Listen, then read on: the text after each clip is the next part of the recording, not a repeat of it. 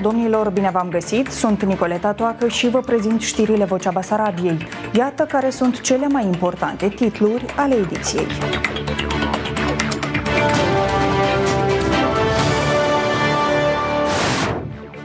Forum economic organizat la Chișinău, războiul de la Hotar descurajează investițiile și antreprenorii se plâng că muncesc de trei ori mai mult.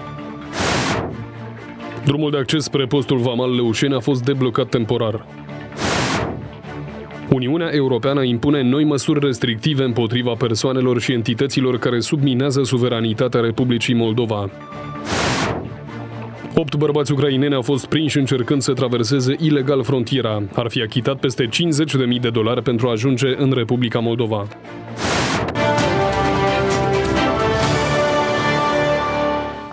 Circa 300 de profesioniști din diverse domenii, experți și lideri de opinie din Republica Moldova, România, Italia și Polonia participă la Forumul Economic de la Chișinău. Evenimentul este organizat pentru al doilea an consecutiv, sub auspiciile familiei regale a României.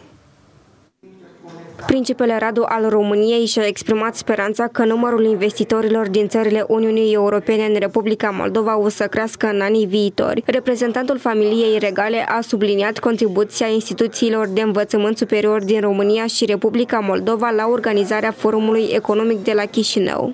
Economia și uh, bunăstarea depind de pragmatism și de, de, de forța de a, de a produce prosperitate familiilor, comunității. Uh, nu pot să fiu decât uh, foarte încrezător. Mai ales că anul care a trecut până acum nu a fost dintre cele mai fericite pentru partea noastră de lume.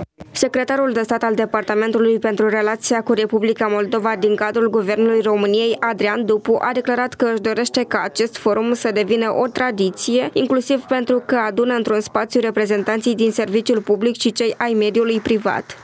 Să oferim predictibilitate mediului privat, cred că este datoria noastră, pentru că nu putem vorbi despre o economie puternică fără un sector privat bine consolidat. Și un sector privat bine consolidat înseamnă și încredere în autoritățile publice, iar cred eu că astfel de evenimente în care ne întâlnim în același loc, la aceeași masă, uh, sectorul public și sectorul privat are datoria și are menirea tocmai de a clădi această încredere. În același timp, președintele Parlamentului Igor Grosu a mulțumit familiei regale pentru susținerea necondiționată a Republicii Moldova și a îndemnat investitorii români să vină în stânga Prutului. După ce statul român a făcut o, o investiție strategică în proiectele majore de infrastructură, e un semnal foarte bun pentru investitori. A, așa lucrează lucrurile. Statul român este aici, ă, sectorul bancar român este aici. Acum trebuie să vină, urmează investitorii români. La rândul său, premierul Dorin Recean a vorbit despre cele întâmplate în ultimul an, punând accent pe debirocratizarea economiei. Cel mai important lucru este accesul la piețe. Da? Unu, Suntem mai aproape de Uniunea Europeană, Doi, am mai deschis uh, patru piețe, mă refer la Luxemburg, Norvegia, El, uh, Elveția. În tot acest an, noi am debirocratizat economia în așa fel încât să vă fie și mai ușor să veniți, să uh, investiți. Avem un sector financiar bancar și mai puternic, și mai capitalizat, și mai capabil. Suntem tot mai aproape să integrăm piețele de capital de la Chișinău și de la București. Forumul reprezintă o oportunitate excepțională de a interacționa cu lideri și inovatori la nivel regional într-un cadru care favorizează dezvoltarea economică și colaborarea intersectorială. Suntem într-o perioadă în care investițiile în uh, tehnologii nu numai decât sunt la cel mai mare um, nivel, dar totuși în Republica Moldova noi știm cu siguranță că noi avem capital uman, că noi avem idei, că noi avem companii uh, care merită investițiile. Investițiile sunt uh, motorul creșterii economice și a unei dezvoltări durabile. Investițiile uh, au nevoie de un cadru legislativ stabil, au nevoie de o piață financiară stabilă, dar și dezvoltată și au nevoie de un dialog constant cu autoritățile. Faptul că este o, o altă zi în care stăm față în față, mediul economic și autoritățile, piața financiară, înseamnă un foarte mare pas înainte. Războiul de la hotar descurajează unele investiții, iar asta înseamnă că antreprenorii muncesc de trei ori mai mult pentru un rezultat bun. În pofida acestui fapt, România rămâne a fi cel mai mare investitor al Republicii Moldova. Cu siguranță România, cu peste 1600 de companii românești, cu capital românesc și același lucru este valabil și pentru comerț. Ori 35% din exporturile moldovenești merg în România, potențial pe care intenționăm să-l creștem permanent. Forumul va continua cu dezbateri pe subiectele Smart City, inovații și soluții pentru dezvoltarea orașelor inteligente, tendințe și inovații în domeniul tehnologiei informației, strategii și oportunități pentru promovarea dezvoltării rurale și a industriei agroalimentare. Pentru săptămâna viitoare, la Tiraspol a fost anunțat al șaptelea congres al așa zișilor deputați. Presa locală scrie că va fi discutată situația politică din regiune. Potrivit biroului politic de reintegrare, nu ar fi semne că Tiraspolul urmărește escaladarea situației.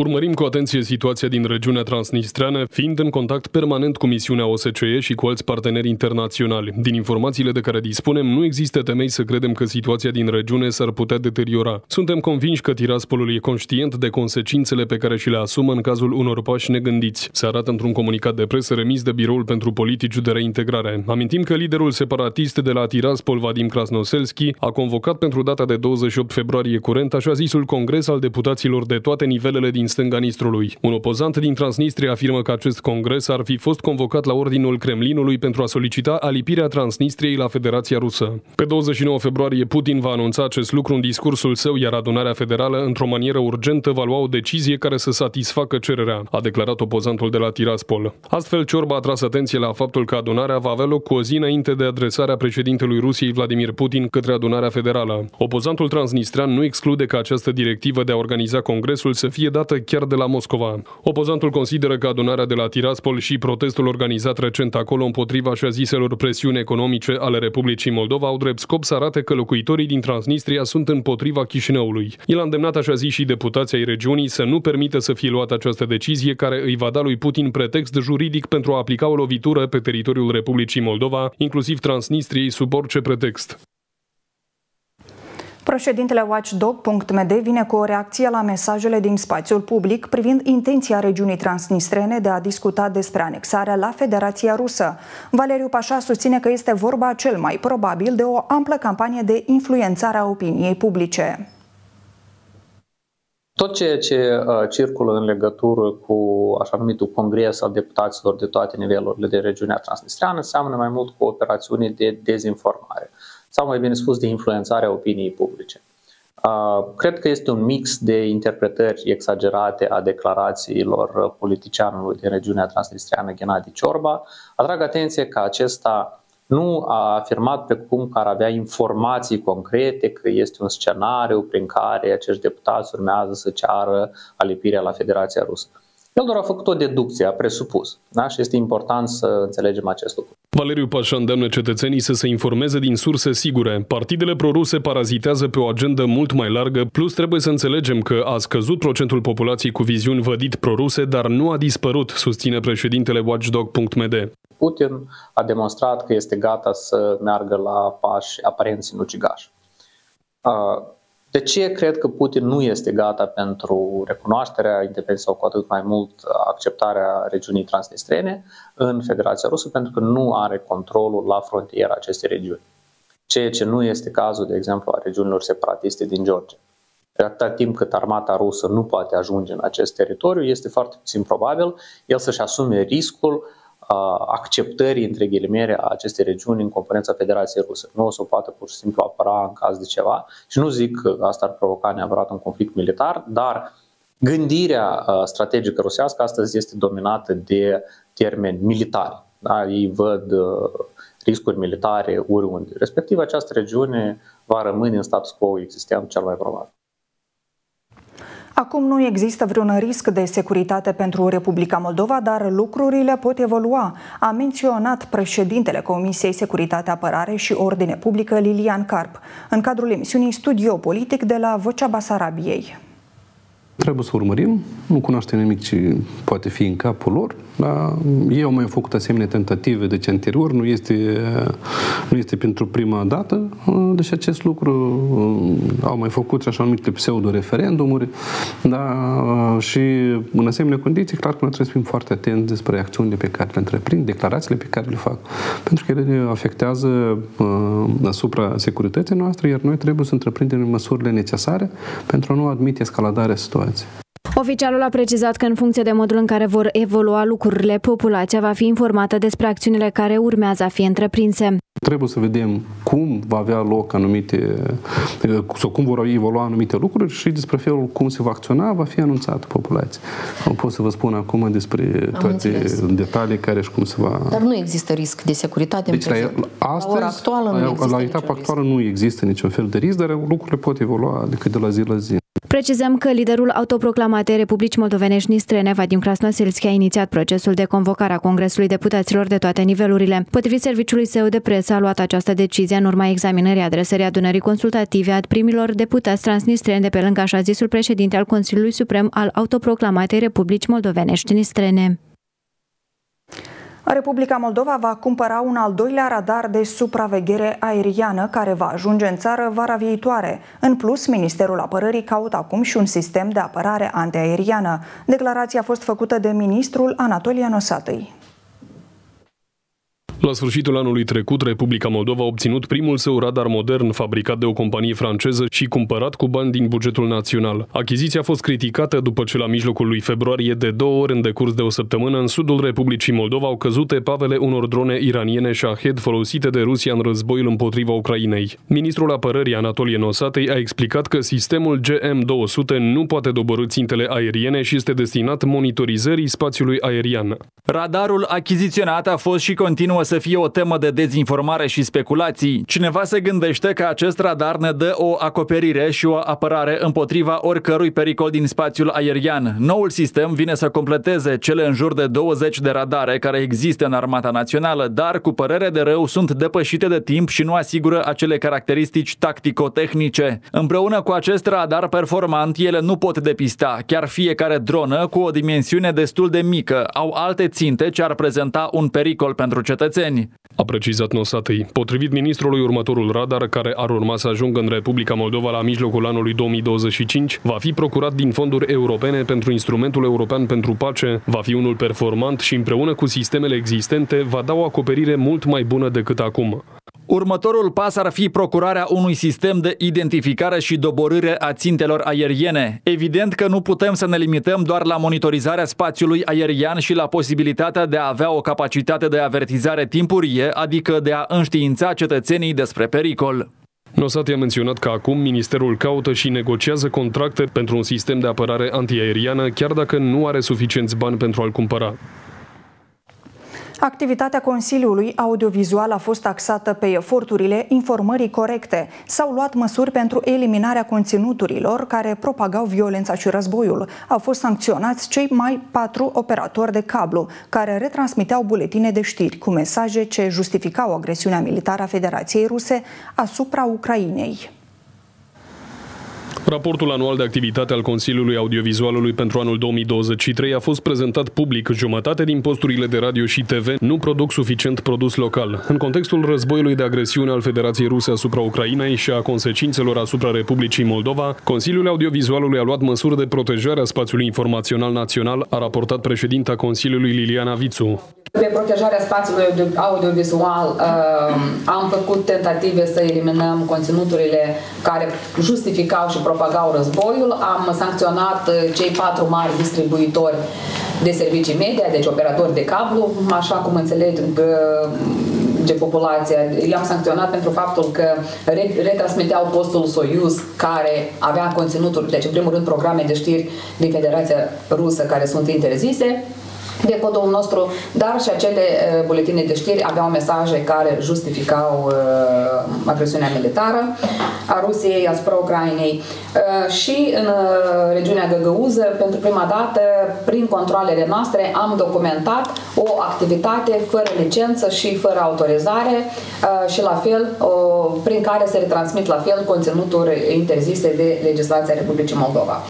Președinta Consiliului Audiovizualului a subliniat o scădere a numărului sancțiunilor în comparație cu anul trecut, ceea ce reprezintă o ameliorare privind asigurarea informării corecte. Pe de altă parte, Consiliul a constatat că în continuare posturile radio și TV din Republica Moldova nu au suficientă producție proprie locală în limba română. De asemenea, în anul 2023, Consiliul Audiovizualului a continuat să monitorizeze 9 posturi de televiziune pe respectarea rigorilor lingvistice, toate cele 9 posturi fiind avertizate public. Consiliul European a impus sancțiuni împotriva încă șase persoane și o organizație responsabilă de subminare și amenințare suveranității și independenței Republicii Moldova, în conformitate cu decizia Consiliului. Activele acestora în Uniunea Europeană vor fi înghețate, iar persoanelor le va fi interzisă intrarea și călătoria pe teritoriul blocului comunitar. Printre persoanele sancționate de Uniunea Europeană se numără persoane apropiate fugarului Ilan Șor. Este vorba de Alina Corșicova, Dumitru Chitoroagă, Maria Albot și Victor Petrov. Totodată pe listă se regăsește și Kiril Guzun, fondatorul și președintele organizației Scutul Poporului, care este și ea sancționată. De asemenea, este sancționat și Dimitri Miliutin, șeful adjunct al Departamentului de Informații Operaționale al Serviciului Federal de Securitate al Rusiei, responsabil pentru operațiunile secrete ale Kremlinului în Republica Moldova, în special în Transnistria, începând cu 2016. 2019. Republica Moldova este una dintre țările cele mai afectate de urmările invaziei ilegale a Rusiei în Ucraina. Există încercări serioase, crescânde și continue de destabilizare a statului. Listările de azi trimit un nou semnal politic important de susținere neclintită pentru Republica Moldova, stabilitatea, independența și suveranitatea sa a declarat înaltul reprezentant al Uniunii Europene pentru afaceri externe și politică de securitate, Joseph Borrell. Drumul de acces spre punctul de trecere al frontierei Leușeni-Albița a fost deblocat. Circulația mijloacelor de transport a fost reluată în regim normal. De la ora 11, postul Vamal Leușeni a fost blocat din nou de către agricultori. Fermierii au ieșit cu tractoare pe drumurile naționale din Fălești, Cahul și câteva orașe din Găgăuzia. Oamenii legii s-au aflat la fața locului pentru a redirecționa și fluidiza transportul. Vineri la ora 14 va avea loc o nouă întâlnire dintre fermieri și ministrul agriculturii Vladimir Bolea, unde se va discuta despre situația din agricultură și soluțiile propuse de autorități. Pe 20 februarie, la o ședință la care a participat și premierul Dorin Recean, agricultorilor li s-a propus să acceseze credite garantate de stat de până la jumătate de milion de lei începând cu luna martie. Precizăm că în ultimele săptămâni fermierii au organizat mai multe acțiuni de protest, inclusiv cu blocarea unor tronsoane de drum și a unor puncte de trecere a frontierei. Alți opt cetățeni ucraineni ar fi trecut ilegal frontiera moldo-ucraineană, dar au fost prinși la scurt timp. Potrivit poliției de frontieră, incidentul a avut loc în noaptea de 21 spre 22 februarie. Aceștia ar fi achitat în Ucraina 10.000 de dolari pentru a fi ajutați să ajungă în Republica Moldova. Incidentul s-ar fi întâmplat în zona de responsabilitate a sectorului Poliției de Frontieră Basarabeasca. Potrivit oamenilor legii, suspecții ar fi achitat sume de la 3.000 până la 10.500 de dolari fiecare pentru a fi ajutați să ajungă în Republica Moldova. În noaptea de 21 spre 22 februarie, polițiștii de frontieră ar fi auzit focuri de armă dinspre Ucraina. În apropierea frontierei, aceștia au identificat 8 persoane care ar fi traversat fraudulos granița. Din declarațiile suspecților, oamenii legii Belgii au mai stabilit complicitatea două persoane. Una dintre acestea ar fi în căutare de către autoritățile din Republica Moldova pentru cazuri similare. Pe 11 februarie, vame și ucrainene au reținut 8 bărbați care ar fi încercat să treacă ilegal frontiera moldo-ucraineană, a anunțat serviciul vamal al Ucrainei. Pentru a ajunge în Republica Moldova, fiecare dintre ei ar fi achitat între 18 și 37 de mii de lei. Prețul la energia termică și energia electrică ar putea scădea, afirmă ministrul energiei Victor Parlikov. Premis în acest sens servesc noile tarife la gazele naturale, spune ministrul. Potrivit oficialului, noile tarife la gazele naturale vor avea impact economic pozitiv. Mai exact, în consecința energia termică și electrică produsă de centralele electrotermice s-ar putea ieftini. Odată cu scăderea prețurilor reglementate la gaze, uh, veți vedea că vor urma și deciziile cu privire la modificarea prețurilor la uh, energie termică și energie electrică uh, produsă de ceturi în cogenerare. Respectiv, acest val, deci guvernul, așa cum am spus, guvernul a făcut tot posibilul ca să fim gata de această iarnă. Ieșim din iarnă, prețurile pe piața internațională merg în jos, noi suntem pozitivi vis-a-vis de uh, evoluția prețurilor pe uh, piețele internaționale și uh, pornind de la prognozele prețurilor pe acest an, cred că ne putem asuma o, o reducere a prețurilor, iar Andrei va explica cu mult, cu lux de detalii, deci esența acestor cifre. Pe 21 februarie, Andreea a aprobat noi tarife pentru gazul natural. Astfel, acesta s-a ieftinit cu 3,3 lei per metru cub pentru consumatorii casnici. Prin urmare, noul tarif a ajuns la 13,39 de bani fără TVA.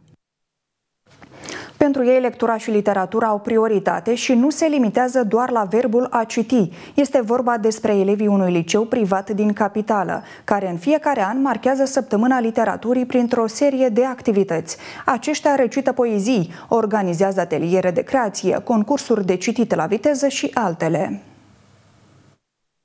Depinde cât de mare da. Tot citesc câte una, două. Deci da. într-o, uh, într-un an 12, de la 12 la 20 de cărți putem să citim.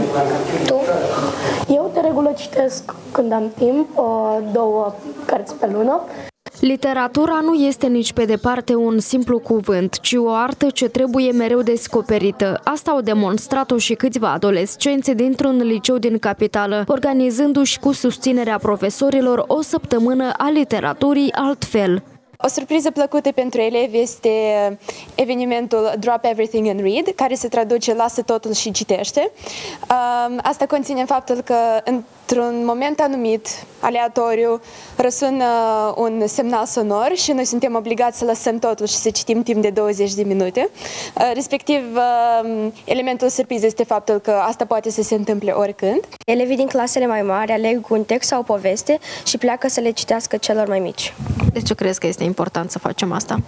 Asta este important deoarece este o metodă mai interesantă de a arăta celor mici cât de interesante pot fi cărțile. Clubul de fotografii, în care fiecare elev are oportunitatea de a-și dezvolta abilitățile de a face poze. De ce această activitate este importantă în săptămâna literaturii? Ne-am concentrat să arătăm frumusețea și importanța cărților. Iar mai apoi aceste fotografii au fost afișate în biblioteca școlii pentru ca toată lumea să le poată admira. Biblioteca umană, care constă din faptul că copiii sunt împărțiți în perechi și pentru maxim 5 minute trebuie să vorbească între ei și să se cunoască. Destul de des noi vorbim despre lucruri care ne plac, inclusiv cărțile și asta este un mod bun pentru a afla diferite cărți noi care am putea să le citim. Mie mi se pare că cititul este o activitate extrem de importantă pentru că îți dezvoltă vocabularul, imaginația imaginația și creierul în general. În cadrul săptămânii lecturii, noi organizăm și un concurs de semnele de carte, în care fiecare elev are oportunitatea de a crea un semn de carte individual în timpul lecțiilor de arte sau a clubului de arte și design. Mai târziu acestea sunt laminate de profesori și folosite de elevi. Copiii nu înțeleg ce vor, a plânge cu minția lor, dar lucrul cel mai laș în lume e un bărbat tânguitor. Nimic nu-i mai de râs ca plânsul, în ochii unui luptător. O luptă-i viața, deci se luptă, cu dragoste de ea, cu dor. Conform unui studiu, moldovenii alocă în medie câte 17 minute pe zi pentru diverse forme de lectură, ceea ce este mai puțin în comparație cu alte țări din Uniunea Europeană, unde în medie se alocă aproximativ 25 de minute pe zi. În Moldova, cea mai populară formă de lectură este informarea prin intermediul calculatorului, căreia se acordă în medie circa 10 minute pe zi, în timp ce pentru cititul cărților tipărite se alocă în medie 4 minute pe zi. De peste 30 de ani promovează deprinderi de viață în rândul elevilor. Vorbim despre Adriana Bujac, învățătoarea de clasele primare, care se remarcă prin felul deosebit de a educa sute de copii. Cum credeți? Ce fel de ochi ascuns, Anastasie? Mânuța, mânuța, mânuța! Cristi, poftim! Anastasia ascuns ochi fericit! Adriana Bujac este născută la nordul Republicii Moldova, în comuna Fălești, într-o familie de oameni învățați și cu bunul simț pus în cap de masă. Respectul, omenia și corectitudinea sunt valorile de bază în casa lor. Tot de acolo îi se trag și rădăciunile în pedagogie, întrucât și mama Adrianei tot învățătoare este. Teancurile de caiete, nopțile care le stătea asupra cărților, cred că m-au influențat și am făcut această alegere și mă mândresc cu aceasta. Acolo am și început, în școala în care am și învățat și deci acolo de, m-am simțit, am făcut primii pași în, în învățământ, apoi am venit la Chișinău. Adriana Bujac povestește că la început atât ea cât și familia ei erau sceptici cu privire la decizia de a-i călca pe urme mamei pentru că am nimerit în valul schimbărilor de după anii 90, când au început să se schimbe manualele, curiculele, grafia, chiar formula statului, deci când am căpătat independență și toate acestea s-au reflectat asupra activității mele. Dar niciodată nu am făcut un pas în stânga, un pas în dreapta. Am mers ferm cu pași încrezuți, încrezători înainte. Nu a încetinit niciodată din drum, pentru că știa sigur ce scopuri are. A muncit și muncește cu pasiune și dedicație, atins spre a-și găsi confortul profesional și mediul prielnic în care să se dezvolte și să exceleze alături de elevi. Întotdeauna am uh, ținut ca copilașul să fie deci să crească un copil respectuos, un copil la care să țină la valorile naționale și să fie în primul rând creativ, original, liber, flexibil și um, să poate deci, gândi critic. Este cunoscută pentru felul în care reușește să pună un accent enorm pe comunicarea internațională dintre învățăcei, pentru că consideră că școala este o verigă în promovarea valorilor Uniunii Europene, mai ales acum, când avem un scop comun, integrarea Republicii Moldova în UE. Atunci când găsim o oportunitate de a ne conecta cu comunitatea internațională, comunitatea europeană, pentru că e ține anume de uh, țările deci din Uniunea Europeană, uh, facem lucrul acesta și mm, ținem ca și copiii să fie informați mereu, să fie învățați de mici că, mm, uite, lucrurile acestea ne fac și pe noi să ne schimbăm în direcția mai bună, ne fac să ne dezvoltăm, să colaborăm, să creăm poduri prin care și noi ne dezvoltăm. Pedagogul spune că educarea cetățeanului începe de mic, pentru că doar atunci opiniile și deciziile le vor fi auzite. Un proces care durează, la care trebuie să aibă răbdare atât adulții cât și copiii.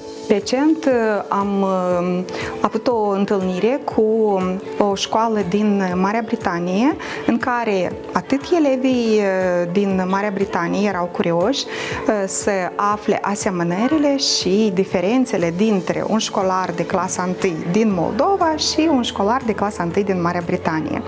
Elevii au avut ca sarcină să-și formuleze întrebările, să asculte răspunsul, să analizeze la final, să uh, aleagă acele asemănări, mai bine zis să le selecteze, să le descearnă, deci asemănările, deosebirile, să aducă argumente celor din uh, Marea Britanie și încă și să comunice într-o limbă străină. La începutul anului de studii 2023-2024, în mediul urban activau 312 instituții de învățământ primar și secundar general, iar în mediul rural 889 de instituții. Din totalul unităților, 98 întreg și 1 aparțin sectorului public. Atât pentru astăzi, sunt Nicoleta Toacă și vă mulțumesc pentru atenție. La orice oră ne puteți găsi pe site-ul voceabasarabiei.md și pe rețelele de socializare. Rămâneți și în continuare alături de Vocea Basarabiei, vocea care ne unește. Numai bine!